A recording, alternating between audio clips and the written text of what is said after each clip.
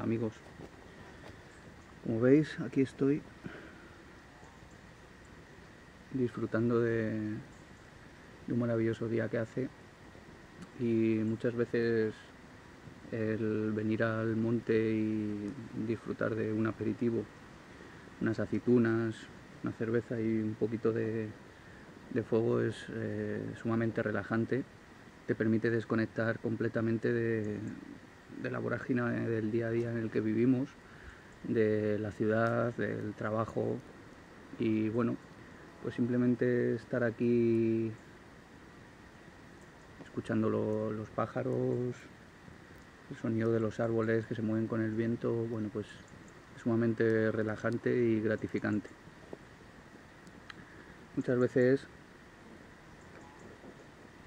no, no nos damos cuenta de, el mundo en el que vivimos, concentración de, gente en las ciudades, coches, hasta que salimos así un poco y, desconectamos completamente.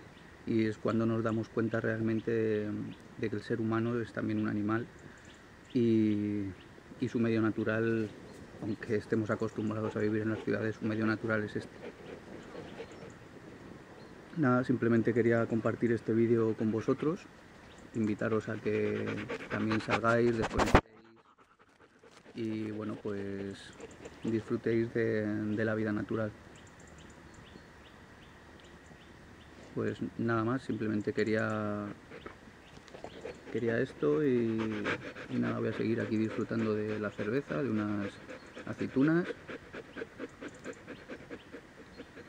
de Argos, mi perro que está ahí tumbado y cansado le estaréis escuchando jadear porque en cuanto le saco al monte por aquí de cruza. A ver quita. Mira por aquí. En cuanto le saco al monte se pone a correr como un loco y, y bueno él, él, sí que disfruta. ¿verdad? y es que además a pesar de estar en pleno otoño en estas temperaturas fijaros el, el monte está todo verde eh, no hace para hacer un pequeño fuego, pero bueno, siempre relaja un poco y también como hace mucho calor todavía hay muchos mosquitos y el humo permite ahuyentarlos. Así que nada, pues nada amigos, seguir disfrutando del monte, de la naturaleza, cuidarla. Obviamente todo esto va a la mochila y a la bolsa donde lo voy a guardar y, y no dejéis nada sobre todo por el, por el monte ni porque nadie va a venir aquí a recogerlo.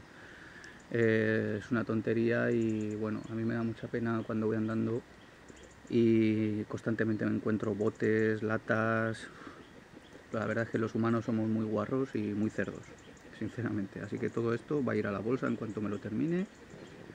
Si hacéis eh, lumbre siempre que sea en otoño ya avanzado, cuando el monte ha verdeado, eh, invierno y luego siempre antes de iros dejarla muy bien apagada. Pues espero que os haya gustado este vídeo y os invito a que sigáis eh, viendo nuestros otros vídeos del canal Paracord 550. Hasta pronto amigos.